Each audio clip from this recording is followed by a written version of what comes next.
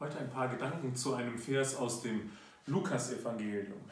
Einer aber von ihnen, da er sah, dass er gesund geworden war, kehrte er um und pries Gott mit lauter Stimme und fiel auf sein Angesicht zu Jesu Füßen und dankte ihm.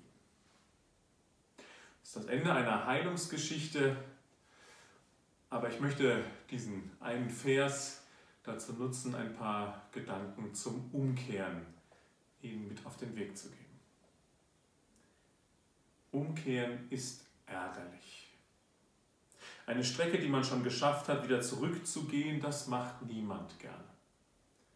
Umkehren ist schmerzlich. Eine falsche Entscheidung, einen verkehrten Weg, handfeste Fehler eingestehen, das fällt nicht leicht.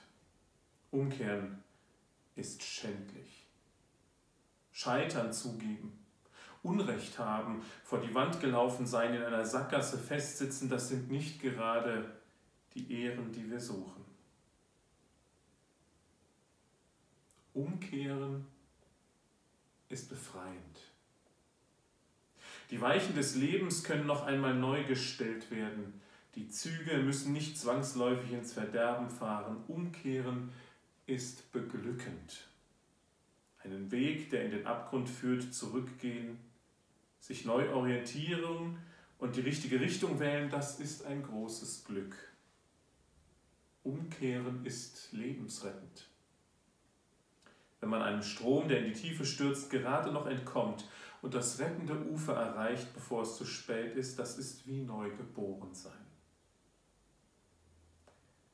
Wendepunkte sind die besten Punkte auf einem Lebenskreis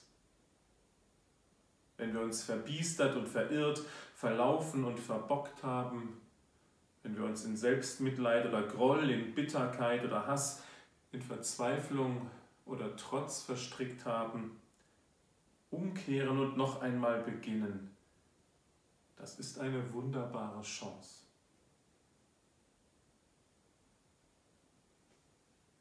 Vielleicht haben Sie beide Varianten von Umkehren schon einmal erlebt.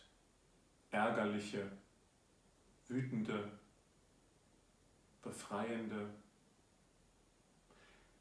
Umkehren, das können wir immer wieder neu. Gott hat uns dazu eingeladen, umzukehren und immer wieder neu uns auf ihn hin auszurichten. So wie der Geheilte in der Heilungsgeschichte mit Jesus wünsche Ihnen Mut und Kraft zum Umkehren da, wo es notwendig ist.